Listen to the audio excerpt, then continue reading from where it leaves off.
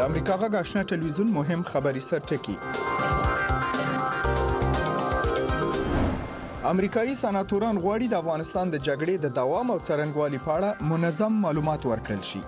جم ماتس او جنرال ډنفورډ وی د جګړې ټول امکانات به برابر کړي د لاس ویګس د خونړۍ پیښې د وروستیو تحقیقاتو جزئیات او هلته د افغانانو د ټولنې عکس العمل واورئ. او په افغانستان کې په مذهبي اقلیتونو د خونړیو بریدونو په ځواب کې سنی او شیعه کورنۍ وی مذهبي اختلافات په افغانستان کې ځای نشي موندلی.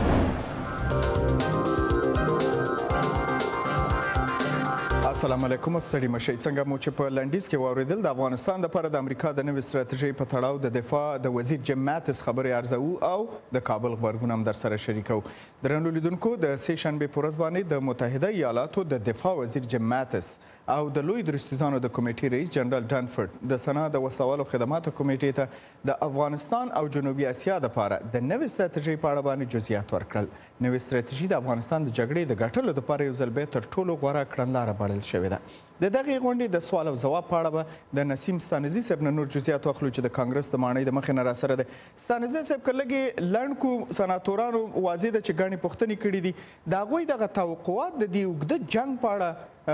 څه دي چې څه یې په باره کې باید واوري؟ اشنا صاحب تاسو او درنو لیدونکو او ریدونکو ته سلامونه جمهوریت خوا سناتور جان مکین ویل د توقع دا ده چې د دې جګړې په اړه ټول معلومات ورکړ شي ځکه چې په دې جګړه کې مونږ او تاسو مخاطبین د دفاع وزیر جیمز ماتیس او جنرال ډنفورد په ټول په دې کې شریک یو خو دیموکرات سناتور جک ریډ وویل چې دغه لاره چې تاسو یو څو زره عسکر لیږئ دا موږ ازمویلې ده او زښت ته ډیر عسکر مو په افغانستان کې لرل خو نتیجه یې نه درلودله اوس به څنګه موږ دې ته خوشبین شو چې دغه مطلوبه نتیجه لاس ته راوړو مګر د متحدو ایالاتو د دفاع وزیر جیمز ماتیس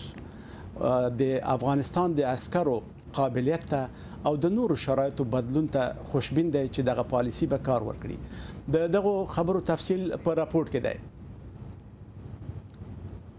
د متحدو ایالاتو د دفاع وزیر جیم ماتیس د امریکا د ولس استازو ته د سې شنبې په ورځ وویل چې د افغانستان امنیتي قواوې په نظامي عملیاتو کې په بشپړه توګه برخه اخلي.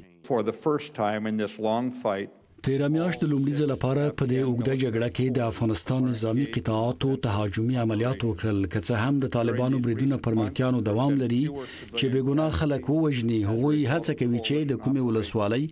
او یا ولایت مرکز د جګړې د موسم له ختم نه مخکې ونیسي خو هغوی په عمومي ډول بې نظمه شوي دي جنرال جیمز ماتیس وویل مهمه خبره دا ده چې په تیرو 14 کلونو کې دا لومړی ځل دی چې د افغانستان د ملي امنیتي قواو تلفات د تیر کال په پرتله کم شوي دي. زموږ مقصد د جنوبي اسیا ثبات دی. په افغانستان کې سیاسي روغه جوړه یوازې په دې شرط امکان لري چې طالبان د ترهګرۍ له ملاتړ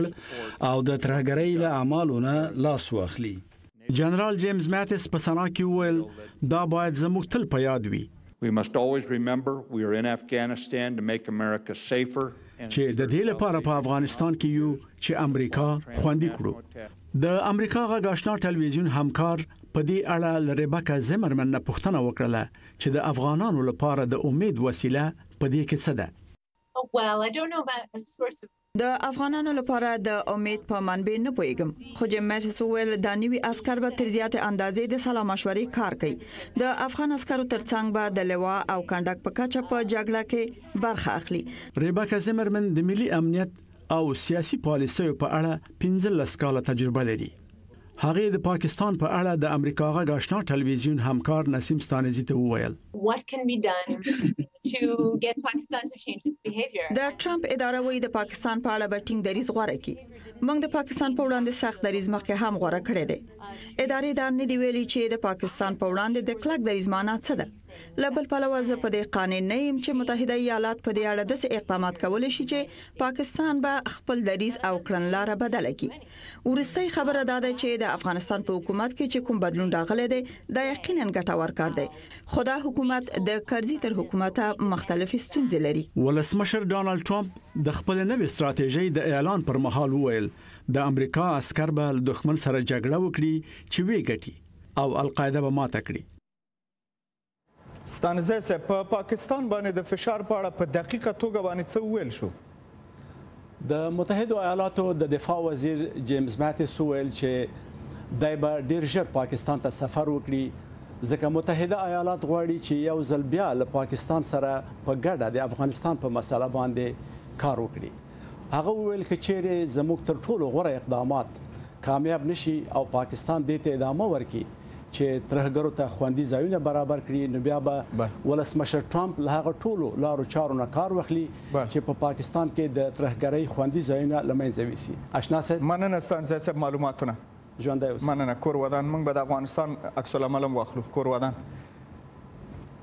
مننه درنو لیدونکو افغان حکومت د امریکا د دفاع د وزیر جمعیت او د لوی درستیز جوزف ډنفورد د کانګرس ته د څرګندونو په غبرګون کې وایي چې د نوې ستراتیژۍ د اعلان سره په سیمه کې بدلونونه راغلي دي او په افغانستان کې هم د جګړې لوری د بدلون په حال کې دی. د افغانستان د جمهوري ریاست وایي چې د امریکا د دغې ستراتیژۍ په تطبیق سره به نه یوازې په افغانستان بلکې په سیمه کې زیات بدلونونه رامنځته شي. د امریکا د متحده ایالاتو د ستراتیژي تر اعلان را وروسته لکه څنګه چې په منطقه کې تغیر راغلی دی همدارنګه د افغانستان د جګړې لوری هم بدل شوی دی. د امریکا د هوایي ځواکونو قوا دوه برابره شوې ده. موږ په دې باور یو چې د دې ستراتیژي په عملي کېدلو سره به د افغانستان او منطقې په حالت کې مثبت تغیر راشي. په دې باور دي چې د امریکا د نوې ستراتیژۍ په اساس د په پاکستان زیات فشارونه وارد شي دوی په دې باور دي چې د ستراتیژۍ د اعلان سره جوخت د پاکستان پر رویه کې هم بدلون تر سترګو شوی دی تیر ورځ د تاسو د جماعت څخه بل واورید په کانګرس کې زه عقیده لرم چې د ستراتیژیو د کامیابیدو یا ناکامیدو لپاره دا ډیره کم مرحله ده باور لرم چې پر پاکستان باندې فشار کوم مسله حتمی ده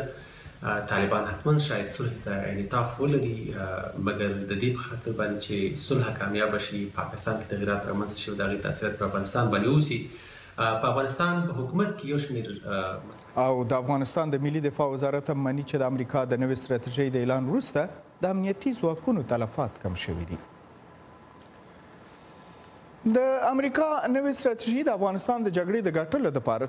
تر ټولو غوره کړنلاره بلل شوې ده منګه په دې اړه باندې د آشنا ټلویزیون او رادیو په پښتو فیسبوک باندې تاسو نظر غوښته ده که مو تر اوسه نظر نه شریک کړ هیله دم دا شیبه مو تاسو سره شریک کړئ مننه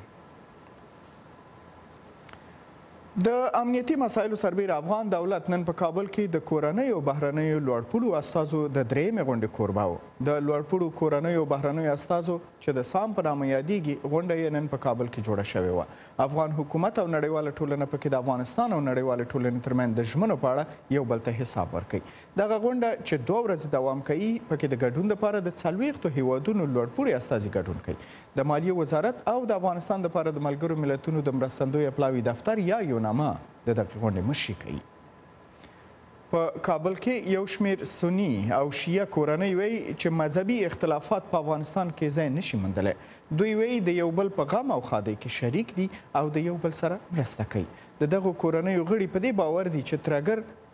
شیعه او سني نه پېژني او یوازې د وېرې خپرولو لپاره بریدونه کوي. حکمت سروش د دغو کابل میشتو د یوې کورنۍ مجلس ته ورغلی و. ډېری په دې باور دي چې داعش هڅه کوي په کابل کې پر شیعه مسجدونو او تکیه خانو په وروستیو بریدونو په افغانستان کې د مذهبي اختلافاتو اور ته لمن ووهي. خو د کابل په یوه کور کې راټولې شوې دغه کورنۍ چې له کلونو راهیسې دوستان دي وايي چې دوی هېڅکله مذهبي توپیر په پام کې نه دی نیولی او هر وخت د یو بل په ښادی او غم کې ګډون کوي. دغه اوس کوم ستونزی سره پیدا سوی دغه مثلا هغه دی روشنایی په دغه باندی په مظاهره چیانو باندی سی کوم برید وسه امام زمان مسجد کی سی کوم برید وسه تروریستی یا هغه ورځی دی قلیفت الله کی سی په هغه باندی تکی خانی سره یو برید وسه دا ټول تروریستی بریدونه دی او ترور نه شیعه پیژني، نه سني پیژني، نه مذهب پیژني، نه دین پیژني، د هغو یوازنۍ موخه د وحشت خپرول دي، دهشت خپرول دي او غواړي په دې توګه بالاخره خپلو شومو اهدافو ته ورسیږي. محمد یحیی میرزا وايي چې له احمد ضیا ضیا سره له پنځلس کلونو ملګرتیا لري، یو ځای زده کړې کړي او هر وخت د یو بل مرستې ته رسیږي. ما د عروسیا رفت آمدهای فامیلی داریم خدا نبیاره. موږ په ودونو کې کورنۍ تګ راتګ لرو خدای دې نه راولي د یو بل په غم کې ګډون کوو غم شریکي کوو او هغه ټول رواجونه چې په افغانستان کې شته په هغه کې یو له بل سره برخه اخلو او یو بل ته لاس ورکوو. دوی وايي چې د ترهګریزو بریدونو پر مهال روغتونونو ته تللي او ټپیانو ته یې وینه ورکړې او دې ته یې هېڅکله نه دي کتلي چې برید پر چا شوی. خانمای هستند از برادرای ما هستند اهل تشیع هستند. اهل تشیع مېرمنې دي، زموږ اهل تشیع وروڼه دي. موږ پر یو مېز ډوډۍ خورو، چای څښو، دوستانه خبرې کوو، تر خپله وسه مرسته ورسره کوو او کله چې مو مرستې ته اړتیا پیدا شوې، له اهل تشیع وروڼو مو مرسته غوښتې. دغه کورنۍ وايي چې خپلو ماشومانو او تنکي ځوانانو ته یې هم دا روحیه ورکړې چې یووالی وساتي. زموږ په ښوونځي کې مختلفو خلک سوني او شیعه دا هېڅ موږ ته مهم نه دی چې دا سوني دی یا شیعه، موږ خپل کار کوو او هېڅ دې ته مهم نه دی چې ته سوني یې زه تا ته دا کار نه کوم او ته شیعه یې زه دا کار نه کوم، دلته راټول سوي دوستان وايي چي د افغانانو تر منځ ټولنیز اړیکي او دوستۍ به هیڅکله پرې نه ږدي چي مذهبي اختلافات په دغه هیواد کي ځای پیدا کړي. حکمت سروش، د امریکا ږغ اشنا ټلویزیون، کابل.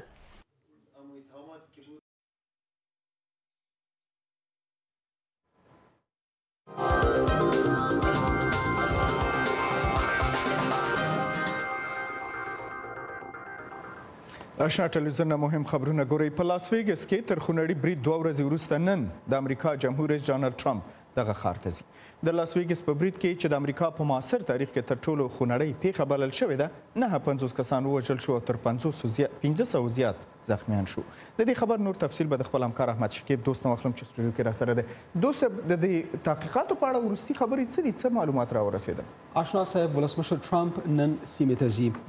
هغه په داسې یو وخت کې سیمې ته روان دی چې پولیس اوس هم د بریدګر د انګیزې پر معلومولو بوخت دي چارواکي تمه لري چې د بریدګر سټیف پاریک معشوقه له روانو پلټنو سره مرسته وکړي هغه د برید په وخت کې په فلیپین کې و او پرون بیرته امریکا ته ستنه شوه د امریکا د فدرالي تحقیقاتو اداره په هوایي ډګر کې د پاریک له معشوقې څخه پوښتنې ګروېږنې کړې دي د پاریک د ملګرې په اړه د سیمه ییزو پولیسو مشر جوزف لمبارد وویل دي نقل قول د تحقیقاتو لپاره د علاقې وړ کس ده خو هغه څه چې دننه په امریکا کې یو ځل بیا بحثونه راپارولي دي د وسلو د ګرځولو او مالکیت مقررات دي چې دا مسله په رپورټ کې تعقیبوو. دا دقیق هغه وخت و چې وسله وال کس په لاس ویګس کې د یوه کنسرت پر زرګونو نندارچیانو ډزې وکړې. پولیس وایي چې بریدګر سټیفن پیډک چې شل وسلې ورسره وې د همدغې ودانۍ له دوه دېرشم پوړ څخه د خلکو په ویشتلو پیل وکړ.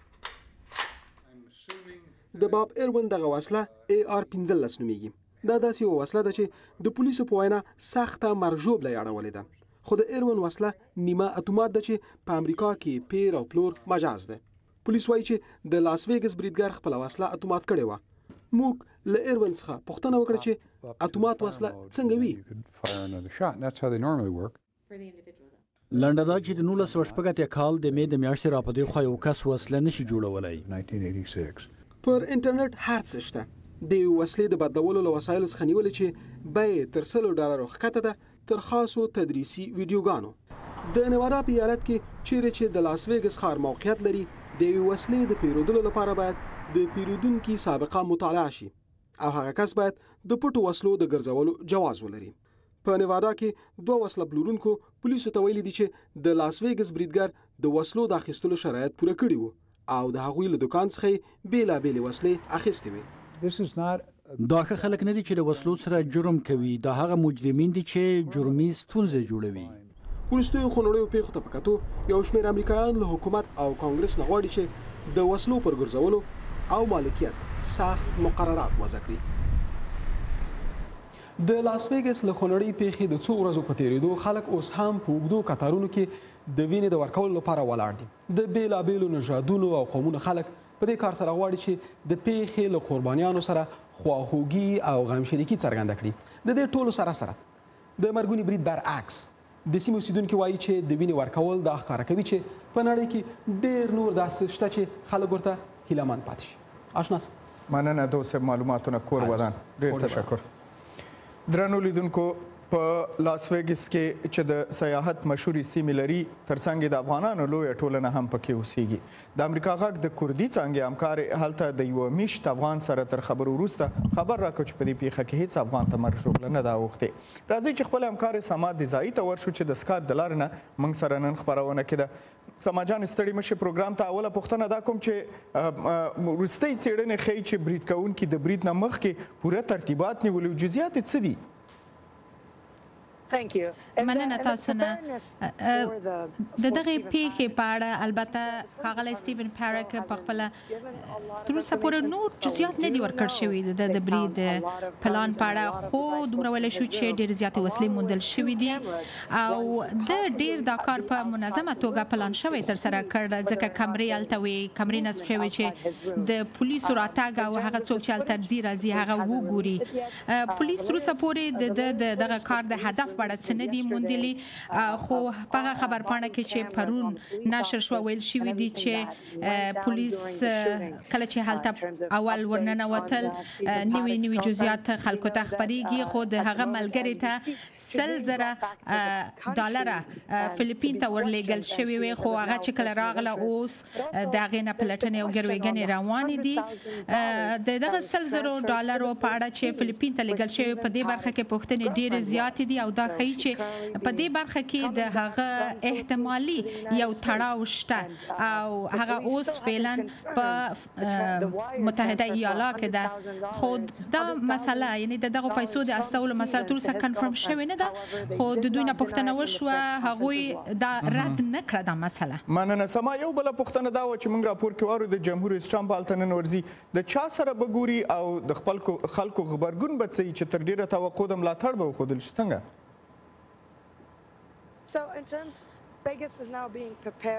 نو دا ښار اوس ویګس د جمهور رئیس ټرمپ د راتګ لپاره چمتووالی نیسي نهه نیمو بجو نه به هغه را رسېدلی اوسي په دغه ملي هوایي ډګر کې هغه به روغتونونو ته لاړ شي د قربانۍ کورنۍ سره ګوري زخمیانو سره ګوري او هغه کسان چې لومړی د پیښې ځای ته ځانونه رسولي وو هغوی سره ګوري او اتلانو سره لنډه لیدنه کتنه به وي د اتلانو سره چې اکثر پکې پولیس دي، د خیریه چارو کارکوونکي دي او بیرته به واشنګټن ته سفر وکړي. سمه، تاسو د افغانانو سره هم خبرې کړي، هلته دوی څه وایي؟ بله، ما د یو شمېر افغانانو سره ولیدل، دلته هغه کسان چې په افغاني ټولنه کې دلته ژوند کوي، دوی د سبا ورځې د لمانځه په اړه داسې ویل. دلته په ویګاس کې د افغانانو لویه ټولنه ژوند کوي او موږ هر ډول مرستې ته چمتو یو د وینې ورکولو نه نیولې تر هر ډول مرستې پورې د جمعې پر ورځ به د جماعت ملا هم په دې حق له خبرې وکړي او موږ افغانان د دې لوی تراژیدۍ د ټپیانو او قربانیانو د کورنیو سره خواخوږي څرګندوو او قربانیانو کورنیو ته د زړه صبر غواړو او ټپیانو ته یې د عاجلې روغتیا هیله کوو سماد ځایي کور ودان د معلوماتو نه د تشکر درنو لیدونکو د امریکا جمهور رئیس ډونالد ټرمپ په پورټوریکو کې سیمه ییزو مسولینو ته هدایت ورکړی دی چې مرستې هر څه زر اړینو خلکو ته ورسوي هغه ویل چې د ماریا په نوم باندې توپان نه وروسته د رغونې لپاره ډېرې پیسې مصرف شوې دي جمهور رئیس ټرمپ او میرمن یې د ماریا د توپان دیارلس ورځې وروسته د سې شنبې پر ورځ یعنې پرون د پورټوریکو ټاپو ته ورغلل پورټریکو په جنوبي امریکا کې د متحده ایالاتو جزیره ده. په دې طوفان کې شاوخوا څلور دېرش کسان مړه شولو. د پورټریکو ځینې اوسېدونکي وایي چې تر اوسه ګاز، اوبه او د رڼا لپاره امکانات نه لري. آشنا تلویزیون په یوټیوب کې ستاسو د خوښې پر وخت که غواړئ زموږ خپرونې د دوهم ځل لپاره وګورئ، که غواړئ د هغو پېښو نه خبر شئ چې ستاسې له چاپېریال او ژوندانه سره مستقیمې اړیکې لري، نو په یوټیوب کې د آشنا تلویزیون پاڼې ته ورشئ. د تازه او په زړه پورې معلوماتو او ستاسې ترمنځ واټن یوازې یو کلیک دی. راځو د امریکا یو بل مهم خبر ته د متحده ایالاتو د دفاع وزیر وی پنټاګون یا د دفاع وزارت د هیواد د بهرنیو چارو د وزارت د هڅو ملاتړ کوي چې د شمالي کوریا ستونزې ته د دیپلوماټیک حل لار لټوي تر دې مخکې جمهور رئیس ټرمپ ویلي چې د شمالي کوریا سره د پینګ یونګ سره دیپلوماټیکې خبرې د وخت ضایع کول دي د متحده ایالاتو د دفاع وزیر جیم ماتس د سه شنبې په ورځ د امریکا د کانګرس غړو ته په استماعیه غونډه کې هغه مفکوره رد کړه چې ګواکې د بهرنیو چارو د وزارت هڅې د جمهور رئیس ترامپ د هغه وړاندیز سره په تضاد کې ده چې وایي د پیونګ یانګ سره دیپلوماتیکې خبرې د وخت ضایع کول دي.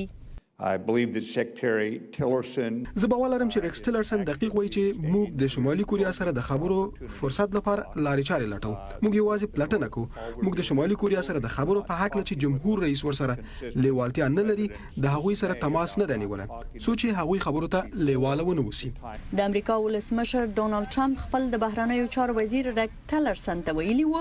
چې له شمالي کوریا سره د هغه هېواد د اتومي او د توغندیو پروګرامونو په هکله مذاکرې د وخت ضایع کول دي.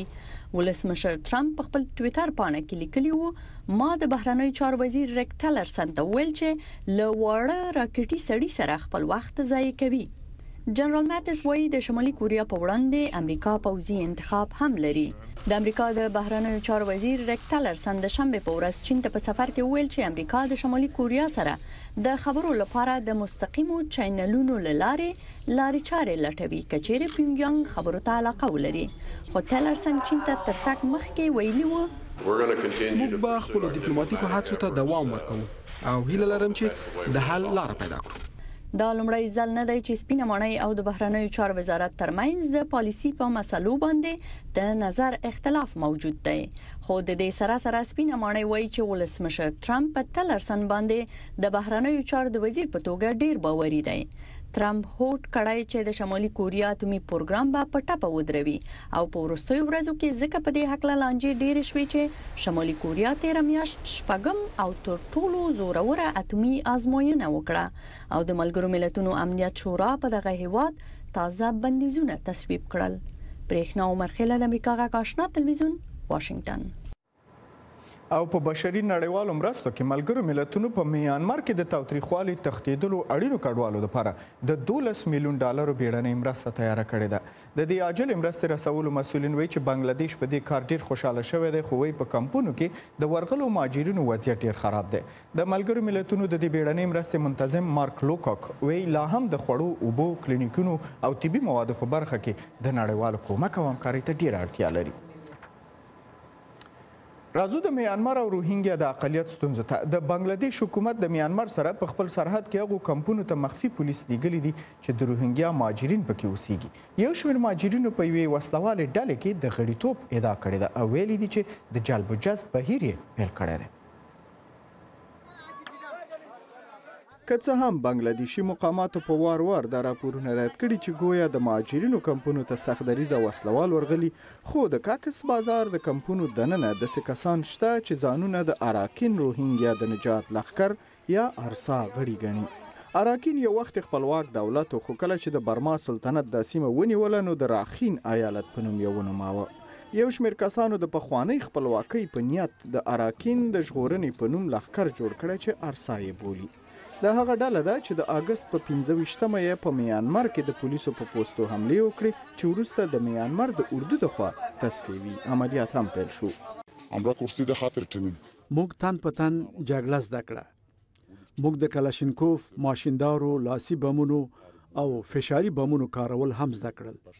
خو دا ټول مهارتونه مو ځکه په کار نه راځي چې موږ په کافي اندازه وسلې او مهمات نه لرو. محمد حلیم په مستعار نوم خبرې وکړې. د سخت دریځو سره یو ځای شوي دغه نوي جلب شوي کس ویلي دي چې دوی په سلګونو کسان موندلي چې د میانمر په جګړې کې د ګډون لپاره داوطلب دي. خو دوی د چا قومندې ته منتظر دي. د ارسا ډله وایي، دوی ځکه د اګست او تر هغې مخکې په دوه زره شپاړس کال کې بریدونه وکړل چې په اکثریت بودايي مذهبه میانمر کې د روهینګیا مسلمانانو باندې د لسیزو ظلمونو په ضد وجنګېږي.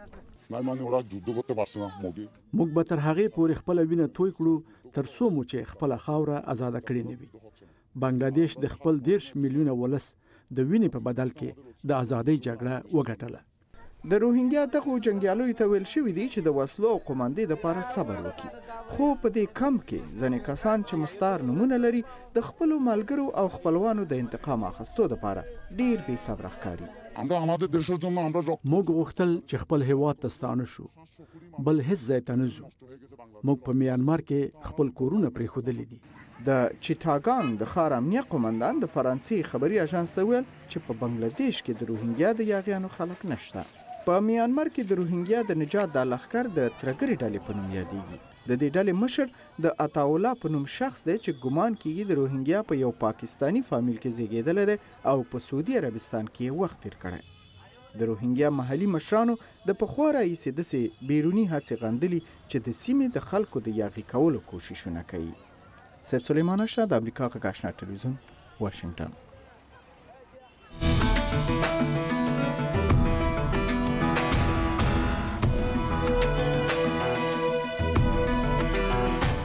او په ټولنیزو رسنیو کې د پام وړ مطالبو په اړه ستاسو تبصرې او نظرونو ته داوود صدیقي کتنه کړې ده صدیقی صاحب ستړي مه شئ او دا وویئ چې مهمې تبصرې څه دي؟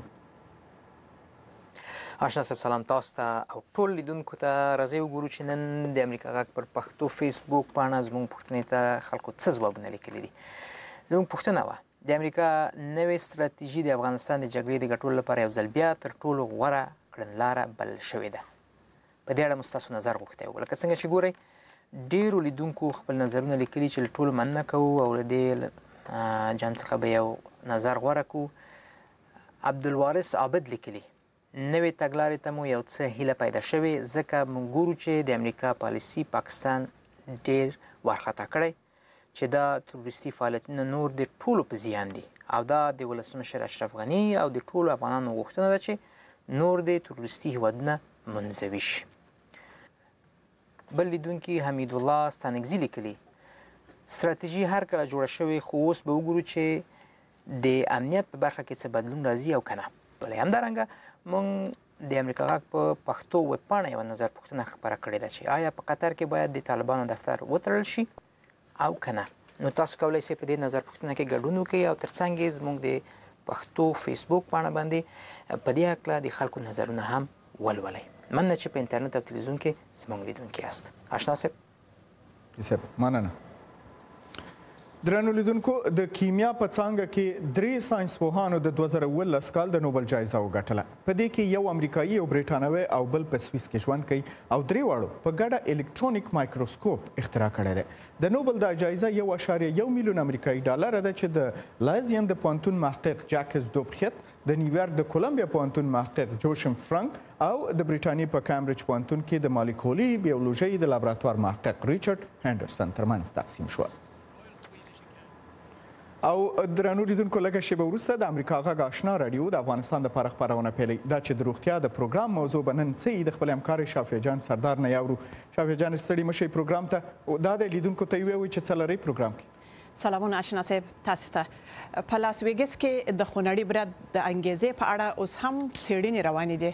په امریکا او نړۍ کې په ډله ییزه توګه د خلکو د وژلو قضیې دومره زیاتې شوې دي چې د رواني ناروغیو متخصصین د برید کوونکي په اړه معلومات ثبتوي. دوی وایي دا بریدګر رواني یا عصبي ناروغي لري، شخصي ژوند یې ګډوډ وي او په ټولنه کې د ځان لپاره د حیثیت د ګټلو په خاطر دا وژنې کوي. کارپوهان همدارنګه وايي چې د ډله ییزو وژنو د زیاتېدو دوه مهم عوامل دي، یو دا چې خلک کولی شي په اسانۍ سره وسلې واخلي او بل ټولنیز مطبوعات لکه فېسبوک او نور دي.